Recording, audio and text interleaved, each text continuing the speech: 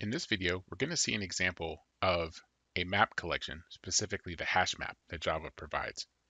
Now, it's important for you to realize that at this point, the details about how you implement a hash map aren't important. Our focus in this video, and for right now, is going to be how to use hash maps.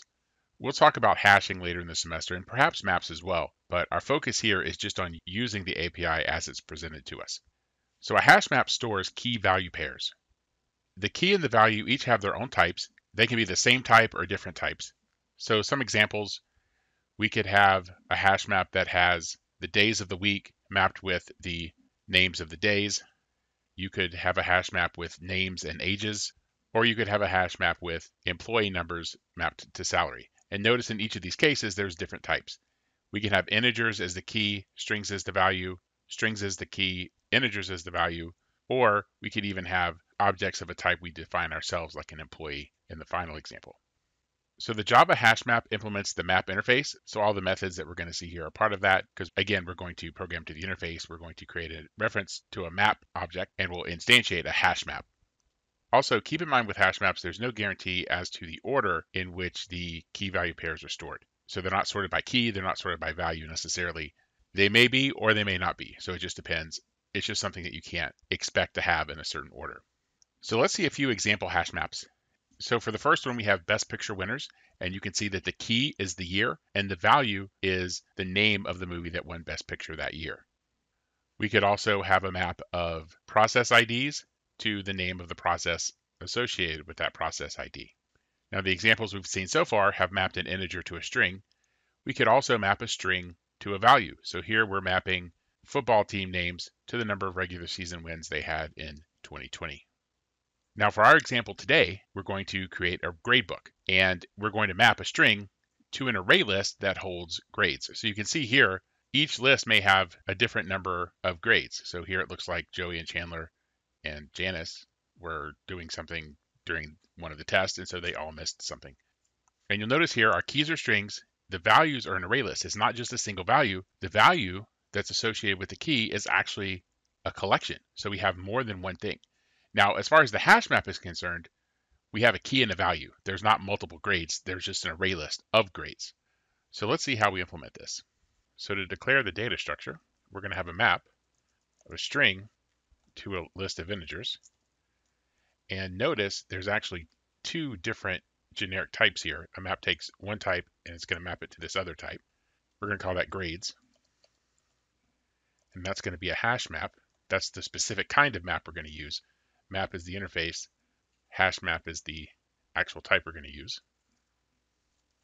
So we're going to create some lists later, or actually some array lists, and so we're just going to keep that as a list for now. We use the interface.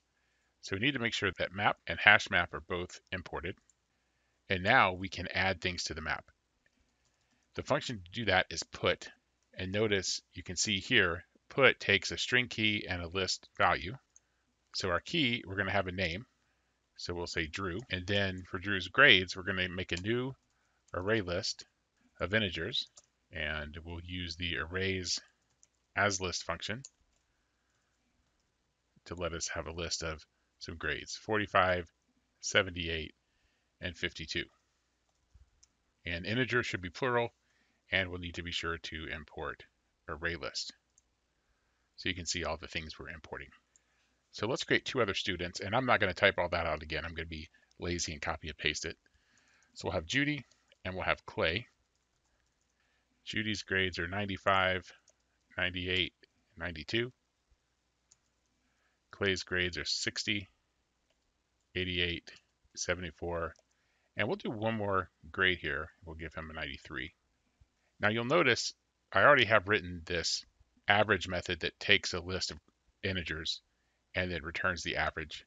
This just uses a for each loop and then divides that sum by the size of the list. So that way we can have different numbers of grades for each student. So let's print the grades. And let's just run this now just to make sure that everything looks good. So here's Drew's grades, Judy's grades, Clay's grades. So that, that looks all good. So now let's print everyone's final grades. We're going to have a for each loop. This string is going to be one of these names. So we want to get the list of these first items in the pair for this for each loop. And the way we do that is we say grades.keyset, and that'll give us an iterable data structure that we can iterate in this for each loop. And then do a little bit of an indent. We'll print their name, and then we want to calculate their grades. So we use the average function, which takes a list. And now we need to get a list for whatever this name is. We need to get the corresponding list from the map. And the function to do that is get based on the name. And that should print all our grades out. So let's see, let's run. And you can see here's everybody's final average. So that's a really quick example. There's a lot more you can do with maps, but the idea here is, is even if you don't know anything about hashing or anything about a map, you can actually use the data structure just by knowing a few of the functions that you need.